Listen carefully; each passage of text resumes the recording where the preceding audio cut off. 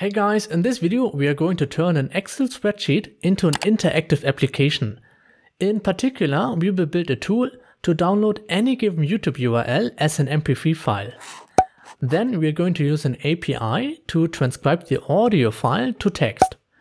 And then we are going to use this text to create a word cloud out of that.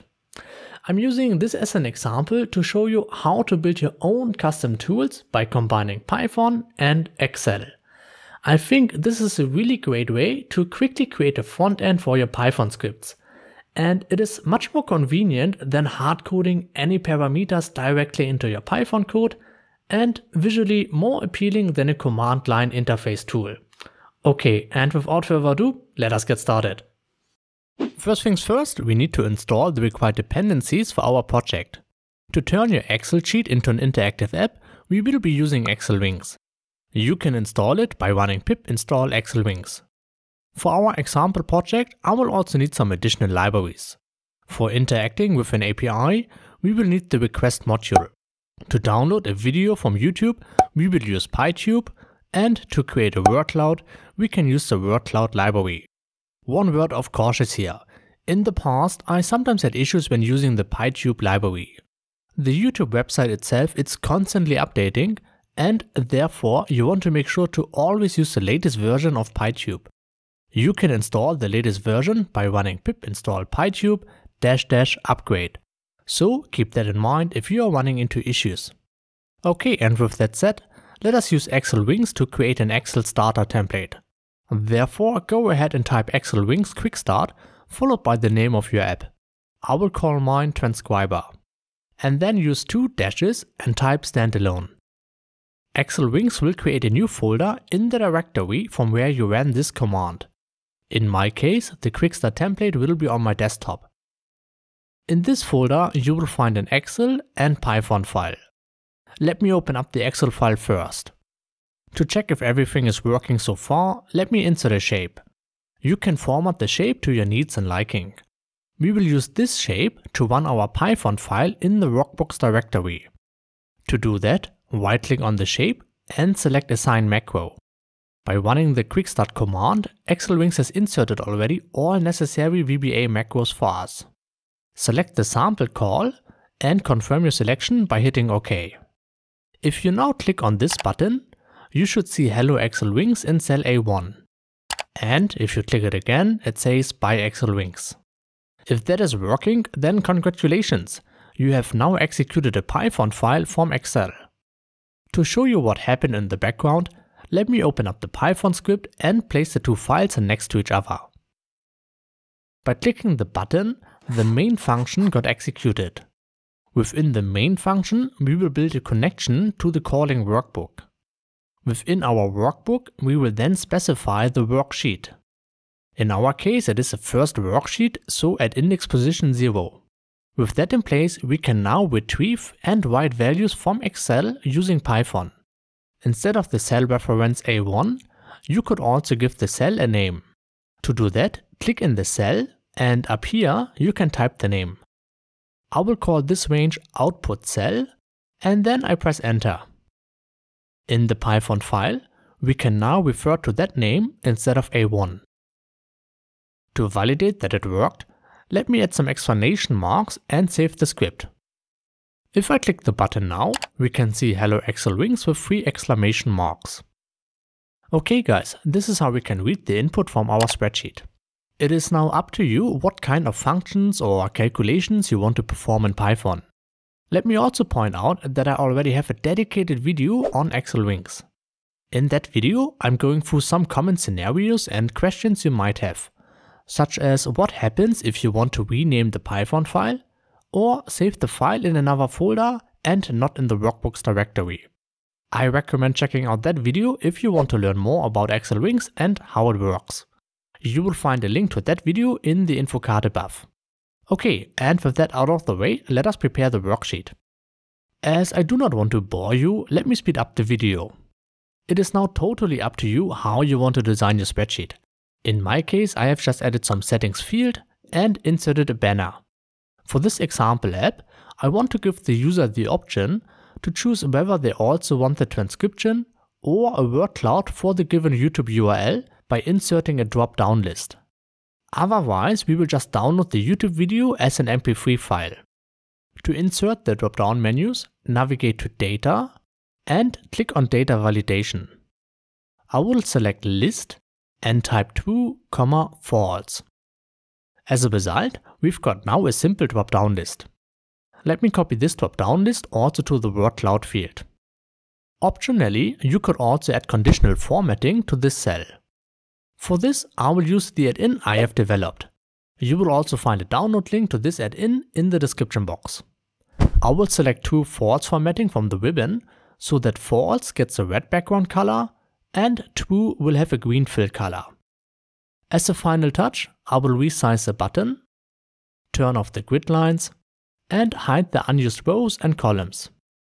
Now the next step is very important. I will now assign a name to each of my settings cells. To transcribe an audio file, I will be using the service of AssemblyAI.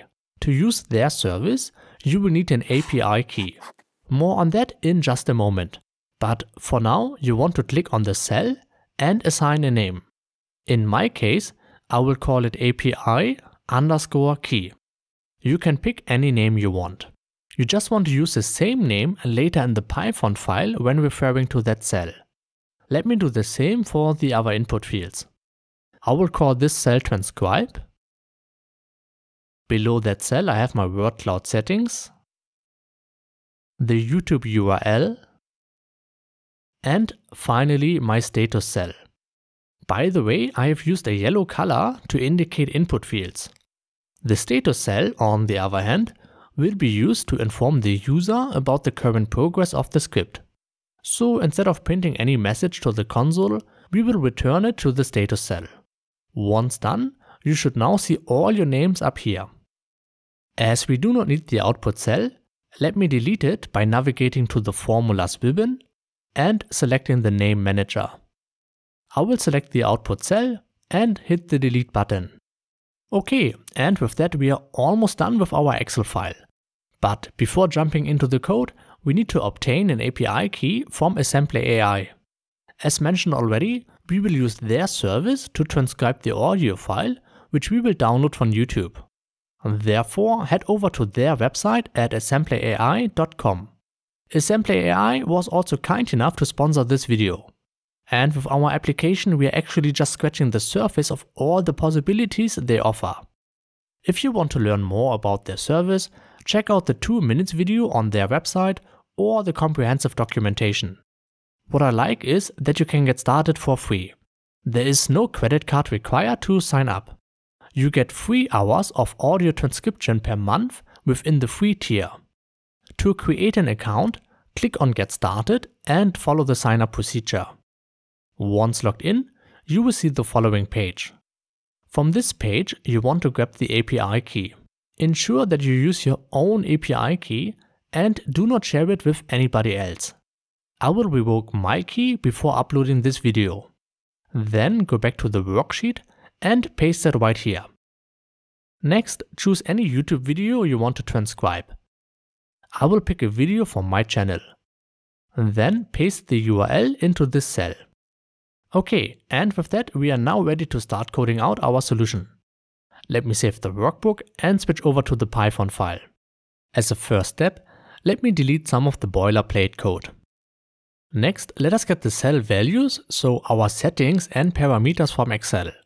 So the YouTube URL, the API key, the transcribe and the word cloud cell value. For the status cell, I only want to get back the cell range. Later in the video, we will use that cell range to return the current status of our script. But before going further, let me import two more libraries. As we will be dealing with different file paths, I will import path from pathlib. Pathlib is a core Python module, so no additional installation is required. To download and convert the videos from YouTube, I will import YouTube from PyTube. Okay, but before downloading any videos, I want to reset the current status by setting the value to an empty string, so that any previous messages in that cell will be overwritten. Next, I will define an output path to save our mp3 file, the transcription text, and the word cloud image. You can pick any path you like. For me, I would like to save it in the same folder as the current Python file, so the parent directory of this file. And with that in place, let us download a YouTube video and save it as an audio file. You might also want to check if the YouTube URL cell is not empty. So only if the user entered something in that cell, then I will set the status to downloading audio file. After that, I will call a function which we will write in just a moment. This function includes the YouTube URL, our status cell range, and an output path. I will store the result of this function in a variable called audio file. So let us now create this function. To download the audio file, I will initialize a YouTube object from the PyTube library with our URL. I only want to get the audio file from all available download streams. And I want to save our download to the output path. By default, it will be saved as an MP4 file. However, I would like to save it as an MP3. We could do that by taking the path of our audio file and replacing the suffix with MP3. Once done, I will write to the status cell that the YouTube video has been saved as an MP3 file. As a last step, I will return our audio file. Okay, let me test it out by switching back to our spreadsheet. If I click on Run Python, we can see that the status cell got updated and that the video has been downloaded as an MP3 file. And indeed, if I check the folder, I can see our file. As the next step, I want to transcribe this audio file to text. And as we will download the MP3 again anyway, I will delete it and switch back to my script. If the user does not write anything in the YouTube cell, I will write no YouTube link entered in the status cell and then I want to exit the script. For this, I also need to import sys. And as we are already here, let me also import sleep from time as we will need it later. To transcribe the audio file, we will use the AssemblyAI API. And to send requests to that API, we will also import requests. Okay, now we have all the imports in place to transcribe the audio file. As we have used true and false values in our spreadsheet, xlwings will convert them to booleans. So if the user selected true for the option transcribe, then I want to execute the transcribe audio file function. We will write this function in just a moment, but I know already that we will need our API key, the status cell, our audio file and the output path. I will create this function right above our main function.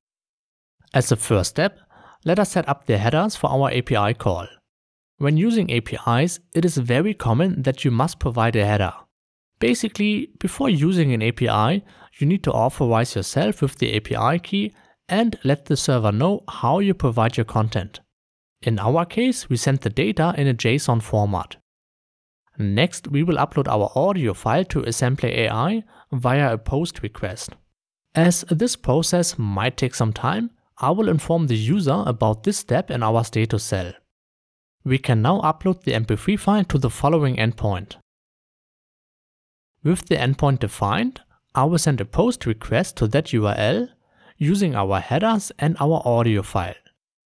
However, we cannot simply send our audio file path. We need to read and send our audio file in a binary format. For that, we will create a separate function called readFile. This function will take a file name and a chunk size as a parameter. The chunk size will be important if you try to upload larger files. In that function, we will read the file in binary format and return the data. Yield is a keyword in Python used for generator expressions. That means that the next time the function is called or iterated on, the execution will start back up at the exact point it left off the last time you call it. And we are using a while loop until all the data has been read. So if there's no data anymore, we will break out of the while loop. Once our upload is done, I will inform the user in the status cell. And for your reference, the upload URL will look something like this. As a next step, we want to request a transcription of the file we just have uploaded. To do that, we will use another endpoint. And as defined in the headers, we use a JSON format for our request. The only required argument is the URL of the audio file. We can get that URL from our previous post request. Optionally, we could also specify the language of the audio file using the language code. With that in place, we can now send another post request to the transcription endpoint using our request and the headers. And as before, I will return the current status to our spreadsheet. Now, transcribing a file might take some time.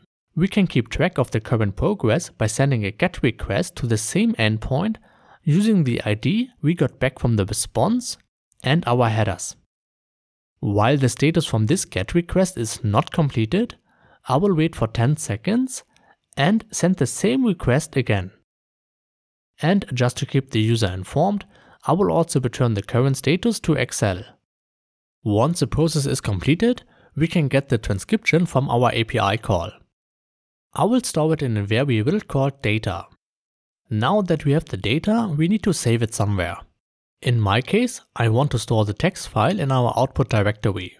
For the file name, I will take the initial mp3 file name and extend it to underscore transcription.txt. As a next step, I can take this file object and write our data to it. Once done, I will use the status cell to let the user know where the file has been saved. As a last step, I will return our text file. Okay, let me test it out by switching back to Excel and setting transcribe to true. After clicking the One Python button, we will see our current status. As mentioned already, transcribing a file might take some time, but once done, you will find the transcription in a text file. And I am pretty amazed at how accurate the transcription is and that it even includes punctuation. Okay, now that we have our text file, I thought it might be also a cool idea to make a word cloud. Therefore, let us go back to our script. So if the user selects transcribe and word cloud, we will generate a word cloud with our transcription text and we want to save it to our output path. As before, I will also pass over our status cell. Next, let us import WordCloud from WordCloud. Right after the imports, I will define our function. And this is pretty straightforward. I will just convert the text file path to a path object. By doing that, I can now extract the content by using the readText method. All I need to do is to initialize the WordCloud object and generate an image using our content. As the last step, I will save the word cloud to our output path. I will use the text file name, but I will save it as PNG instead of text. Once that is done, I will inform the user in our status cell. Okay guys, and that is all there is to it. In Excel, let me set the word cloud to true and rerun the script. Once done, we will have our word cloud. Okay guys, we have covered a lot in this tutorial and I hope I have inspired you to develop some cool Python applications using Excel as the front end. If you enjoyed the video, click the like button and if you want to see more videos like this, consider subscribing to this channel. Thanks for watching and see you in the next video.